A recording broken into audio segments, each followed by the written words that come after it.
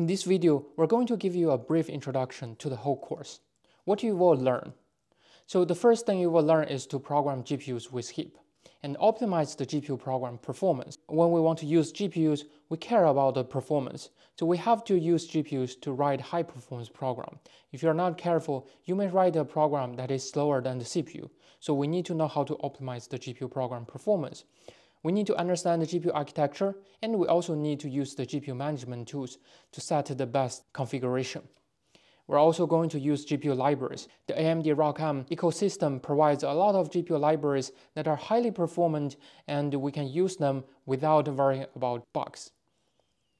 Also, finally, we're going to demonstrate how to do machine learning on AMD GPUs using the TensorFlow and the PyTorch frameworks. What's the requirement for this course? We assume you know C and C++ programming very well. We're not going to introduce these basic concepts. There are plenty of C and C++ tutorials online that you can find other tutorials. You can ask you a few questions to see if you can fulfill the requirement. First of all, you should know how to write loops and functions in C or C++. You should know how to manage memory with malloc and the new keyword. You're skillful using pointers and arrays in C and C++, and you know how to use some basic containers such as vectors in C++. And also knowing parallel program will be a big plus for this course, but it's not really required. We're going to introduce parallel program in the second section of the whole video series.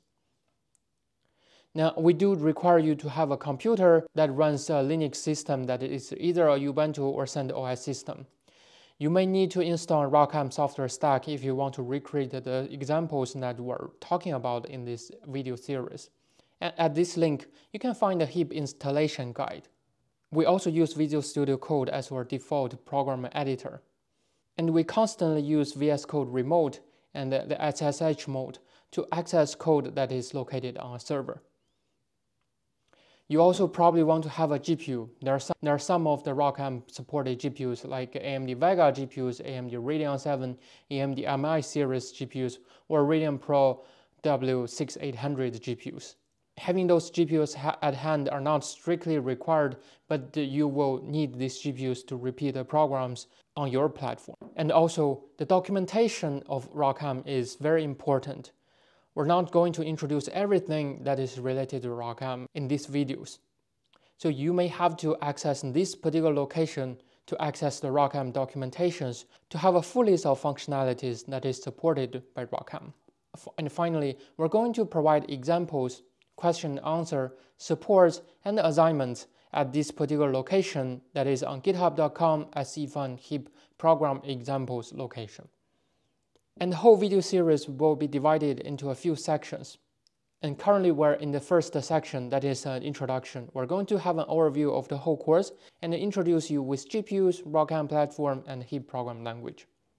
In the second unit, we're going to introduce parallel programming. It's not about GPU, it provides the prerequisite knowledge for parallel programming and how to convert the serial program to multi-threaded programs. And in the third and fourth section, we're going to introduce how to write HIP programs. In the fifth section, we're going to talk about the GPU internals, especially about AMD GPU architectures. We're going to introduce how to understand GPU assembly, what instructions are being executed and how those instructions are being executed by AMD GPUs, and understand the memory hierarchy. Understanding the GPU architecture can help you understand the mechanism behind the performance optimization method. And finally, in the sixth unit, we're going to introduce ROCm tools. There are several GPU management tools and debuggers and profilers that can make your development experience much easier. And in these videos, we're going to introduce how to use those tools. We're also going to introduce some more advanced topics. We're going to introduce performance optimization method in two series of videos. We're going to introduce how to use HIP libraries to accelerate your program and how to control multi-GPUs in one program. Finally, we're going to demonstrate how to use machine learning with ROCm. Basically, we're going to use the PyTorch framework and the TensorFlow framework. Starting from the next video, we're going to introduce you why we want to use GPUs.